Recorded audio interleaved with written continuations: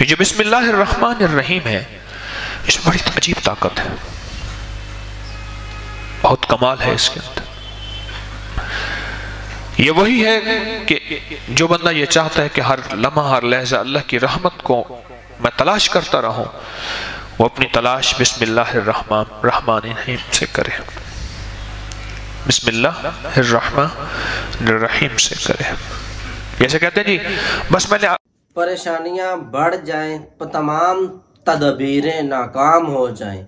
बस ये छोटा सा अमल करें, चंद अल्फाज याद कर लें और लिख लें। हज़रत साहब बताएँगे वो कौन से अल्फाज हैं इस वीडियो क्लिप में। चाहे परेशानी दौलत की है रिज की है, घर की है, गाड़ी की है, रिश्तेदार की है, औलाद की है, सब इंशाल्लाह आपकी पूरी होगी। बस आपने ये छोटा सा अमल करना है। आइए देखते हैं ये वीडियो, लेकिन वीडियो में आगे बढ़ने से पहले चैनल को ज़रूर सब्सक्राइब कीजिए। अभी तक वीडियो को लाइक, शेयर नहीं किया, वो भी कर दें। जो मेरे सब्सक्राइबर, व्यूवर्स है, उनका दिल से शुक्रिया। आइए देखते हैं ये वीडियो, लेट्स ये जो बिस्मिल्लाहिर्रहमानिर्रहीम है इसमें बड़ी अजीब ताकत है। बहुत कमाल है इसके अंदर। ये वही है कि जो बंदा ये चाहता है कि हर लम्हा, हर लहजा अल्लाह की रहमत को मैं तलाश करता रहूँ। वो अपनी तलाश बिस्मिल्लाहिर्रहमान से करे। बिस्मिल्लाहिर्रहमानिर्रहीम से करे। जैसे कहते हैं जी, बस मैंने अभी बिस्मिल्लाह की है। अभी बिस्मिल्लाह की थी, आप आ गए। उन्होंने कहा, जी, कब बिस्मिल्लाह होगी काम की? हमारे ये मुआशरे में एक लफ्ज बना हुआ है, फ़िक्र है। गुफ्तगु का एक अंदाज है।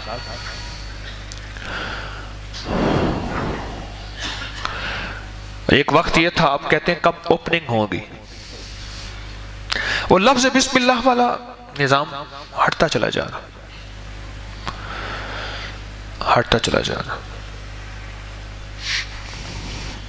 वो दौर थे, काजी भी थे, इंसाफ भी था। वो दौर थे, बोल भी थे, अल्फाज भी थे। गुलाम फातिमा, कनीस फातिमा फातिमा की गुलाम, सैयदा फातिमा, कनीज फातिमा, उनकी बांदी, उनकी नौकरानी।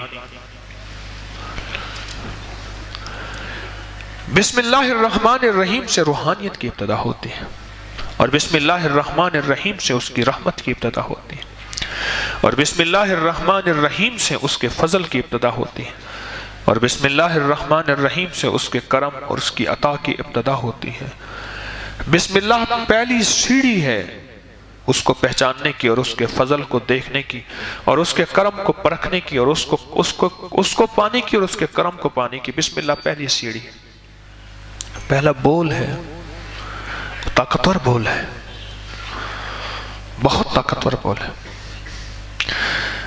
मैं सहराई लोगों को एक किस्सा सुनाया करता हूँ, आपको भी सुना दू। अक्सर उनको सुनाता हूँ। कि एक वहाँ मैं जो लफ्ज इस्तेमाल करता हूँ ढेड़ इस्तेमाल करता हूँ। सहराई लोग हिंदू को ढेड़ कहते हैं ढेड़ कि ढेड़ों की एक बच्ची थी, मुसलमानों के साथ उठती बैठती खेलती थी। तो मुसलमान हो गई। अब अब हिंदुओं को, उनको क्या कि तो बच्ची मुसलमान हो गई। हमारे लिए शर्मिंदगी की बात है। तो उन्होंने कहा, इसका वाहिद हाल यह है कि इसको वापस राह रास्त की तरफ़ लाया जाए। और राह रास्त की बहुत कोशिश की, बहुत, वो अपने यकीन, अकीद, ईमान की पक्की थी। दोनों का इसका बस यही, अब इसको कत्ल कर दिया जाए। इसको कत्ल कर दिया जाए। अब उसके कत्ल के मंसूबे तरतीब बनाई। एक तरतीब ये बनाई कि अंगूठी माने दी, बड़ी कीमती अंगूठी थी। कि बेटी अंगूठी रख दे, मैं तुझसे ले लूँगी। उसने अंगूठी ली और पहले दौर में, अब भी देहातों में, कमरों में ऐसे शेड बने हुए होते हैं जिसपे बर्तन सजाए हुए होते हैं। है ना? क्या कहते हैं? सुफील भी कहते हैं, क्या है? तो उसमें जाके उस बर्तन था, उसने जाके उसमें रख दे। वो दरवाजे से देख रहे थे। उसने ये सुना था कि कोई काम हो उसके करने से पहले बिस्मिल्लाहिर्रहमानिर्रहीम पढ़े। बस ये लफ्ज सुना था, ये बोल सुना था कि कोई मुश्किल हो, कोई काम हो, कोई मसला हो, ज़िंदगी के किसी मसले की इब्तदा हो, बिस्मिल्लाहिर्रहमान, उसने बिस्मिल्लाहिर्रहमानिर्रहीम कह के वो अंगूठी किसी बर्तन में रख दी, ये दरवाजे से अंदर से देख रही थी माँ। ये इधर गई तो उसने अंगूठी उठाई और अंगूठी उठा के टोबे में फेंक दी। वो बहुत बड़ा कुदरती तालाब पानी का ये मैं सहराऊ, सहराई लोगों को यह किस्सा सुनाया करता हूँ। टोबे से मुराद यह है कि कोई अंधा कुआँ है, कुएँ में डाल दी। उसमें से कैसे निकली अंगूठी? कुछ दिनों के बाद माँ ने कहा, बेटी को कि वो अंगूठी लिया अब उनका प्रोग्राम यह था कि अंगूठी का बहाना बना के इसको खत्म कर देंगे, मार देंगे। झगड़ा होगा, झगड़े में कोई बंदा एक इश्तियाल में आ जाएगा, गुस्से में आ जाएगा। और गुस्सा बुनियाद बनेगा, इसको खत्म कर देंगे और हमारी बदनामी नहीं होगी।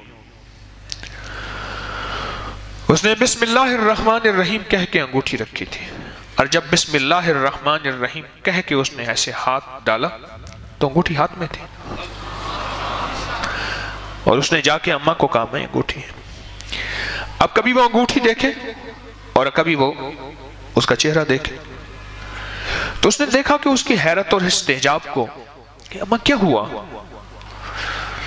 तो उसने अम्मा ने सारा किस्सा सुनाया कि बेटी, असल सच बात तो यही है कि तू हमारे दीन धर्म मज़हब से निकल गई है और हमने तुझे खत्म करना था।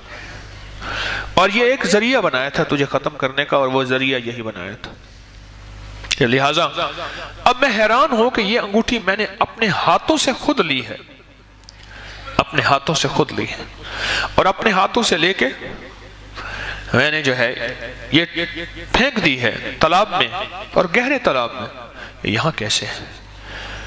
तो उसने कहा, अम्मा, मैंने जब मुसलमान हुई थी और मैं दीन सीखती रही खुफिया तौर पे तो मैंने ये एक सबक पढ़ा था। और सबक में यही लफ्ज था कि बिस्मिल्लाहिर्रहमानिर्रहीम, कोई काम करें उससे पहले बिस्मिल्लाहिर्रहमानिर्रहीम पढ़े। ये सबक था मेरा। और मैंने ये सबक सीखा है। आज यही सबक है कि मुझे ज़िंदगी में सबक मिला है कि मेरी जान बच गई है। हमारी तो ज़िंदगी की इब्तदा बिस्मिल्लाह से होती है। हमारी सांसों की इब्तदा बिस्मिल्लाहिर्रहमानिर्रहीम से होती है। ये वो लफ्ज था जिसके ज़रिए से बरकत आती थी कहते ये बंदा कौन सा है? करे बिस्मिल्लाह, दे वेले दा बंदा है। पहले बंदों के बारे में कहते थे बरकत वाला आदमी है। कह रहे, वो क्या बिस्मिल्लाह के वेले थे? बरकत वाले वेले थे, यानी जमाने थे। जब बिस्मिल्लाह घरों में थी तो औरतें चक्की चक्की पीसते हुए भी, मधानी चलाते हुए भी, काम करते बिस्मिल्लाह, एक कमाता था, सारे खाते थे। तो हज़रत साहब ने एक छोटा सा अमल बताया परेशानियों से निजात के लिए, खैर बरकत के लिए। आप क्या करें? बिस्मिल्लाह पढ़ें। जब भी कोई काम करें तो बिस्मिल्लाह पढ़ें और बिस्मिल्लाह को आम करें। जिस तरह उन्होंने एक वाक्य भी बताया कि एक गैर मुस्लिम थे, उनकी बेटी मुसलमान हो गई और उसने जो है ना अपनी माँ ने मनसूबा बनाया, उन्होंने घर वाले कि उसको हमने ख़त्म कर देना है, मार देना है। तो उन्होंने एक अंगूठी दी, उसको जाके रखो। तो उसने बर्तन में रखी, बिस्मिल्लाह पढ़ के रखी। तो उसकी माँ देख रही थी। बाद में उसने पकड़ी वो अंगूठी, तालाब में फेंक दी। तो अब दोबारा उससे मांगी अंगूठी जाओ लेके और फिर उसने बिस्मिल्लाह पढ़ के पकड़ी अंगूठी, वहाँ ही थी। वो लाकर उसने दी तो उसने अपनी माँ ने दी तो वो हैरान। उसने फिर बताया कि हमने ऐसे ऐसे आपको ख़त्म करने का मनसूबा बनाया था तो ये अंगूठी कहाँ से आ गई? मैंने तो तालाब में फेंकी तो उसने कहा कि जब मैं मुसलमान हुई थी तो मैं दिन को पढ़ती रही और मैंने ये लफ्ज़ सुना था, बिस्मिल्लाह, जब कोई भी काम करे तो बिस्मिल्लाह पढ़े तो इतनी ताकत बिस्मिल्लाह में तो जब कोई भी काम करे तो बिस्मिल्लाह पढ़े। और ये वीडियो कंटिन्यू है नेक्स्ट पार्ट अगली वीडियो में आएगा। आज के लिए इतना ही, मिलते हैं अगली वीडियो में, तब तक लिए दीजिए इजाज़त, अल्लाह